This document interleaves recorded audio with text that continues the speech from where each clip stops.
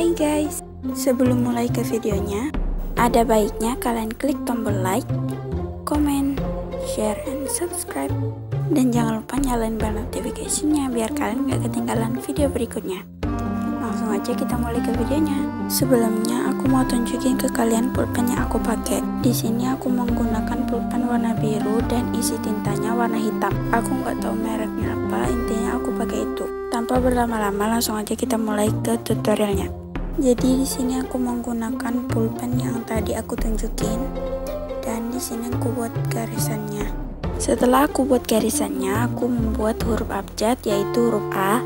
Sebenarnya ini tuh tergantung tulisan kita sih. Kalau tulisan kita ke bawah, dia itu kayak nggak usah ditebelin. Tapi kalau tulisan kita ke atas, kita tebelin. Begitu juga dengan huruf-huruf lainnya. Di sini aku mau kasih contoh dari huruf A sampai Z.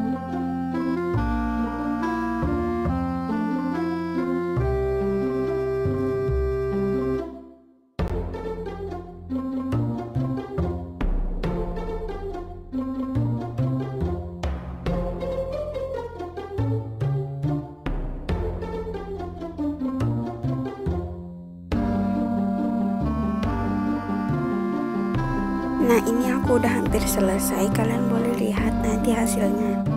Dan kalian boleh contoh untuk kalian nulis kayak gini lagi. Kalau kalian mau disambung Kalian pakai yang huruf yang aku kecilin itu. Ini hasilnya